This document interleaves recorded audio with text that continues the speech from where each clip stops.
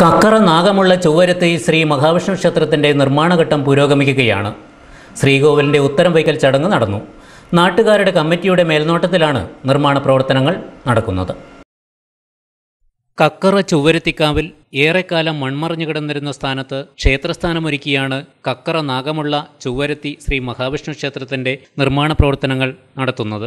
രണ്ടായിരത്തി പന്ത്രണ്ടിൽ നിർമ്മാണം തുടങ്ങിയ ക്ഷേത്രത്തിന്റെ ഉത്തരം വയ്ക്കൽ ചടങ്ങ് നടന്നു. ക്ഷേത്രം തന്ത്രി തരണനല്ലൂർ പത്മനാഭനുണ്ണി നമ്പൂതിരിപ്പാടിന്റെ നിർദ്ദേശപ്രകാരം ക്ഷേത്രം മേൽശാന്തി നീലമന വാസുദേവൻ നമ്പൂതിരിയാണ് ചടങ്ങുകൾക്ക് കാർമ്മികത്വം വഹിച്ചത്.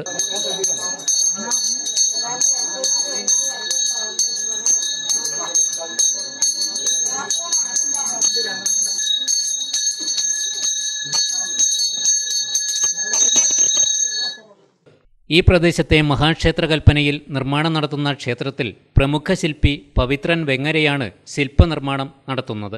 പാണപ്പുഴ ടി ശങ്കരനാചാരിയാണ് ദാരുശില്പകർമ്മം നിർവഹിക്കുന്നത്. മേഖലയിൽ അടുത്ത പ്രദേശങ്ങളിൽ വച്ചുള്ള ക്ഷേത്രത്തിൽ നിന്നും വ്യത്യസ്തമായ രീതിയിലാണ് നിർമ്മാണം നടത്തുന്നതെന്ന് ശില്പി പവിത്രൻ വെങ്ങര പറഞ്ഞു.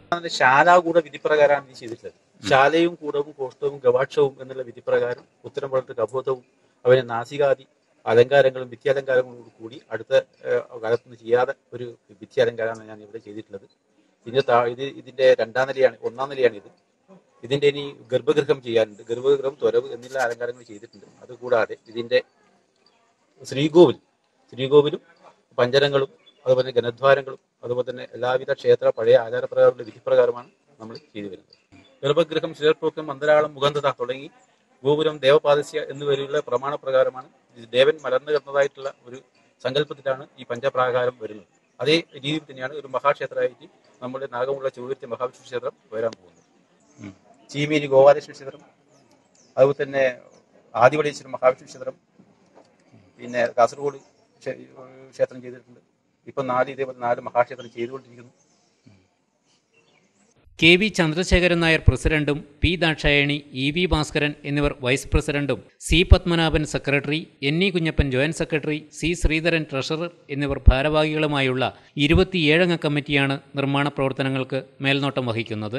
പ്രദേശത്തെ ജനങ്ങളുടെ നല്ല രീതിയിലുള്ള സഹകരണമാണ് ക്ഷേത്ര നിർമ്മാണത്തിലെന്ന് ഭാരവാഹികൾ പറഞ്ഞു. ഇച്ചായോ നാൻസിമോക്ക് നാളെ ഫീസ് അടയ്ക്കേണ്ട ദിവസാ. ഇനിയിപ്പോ എന്നാ ചെയ്യാനാ?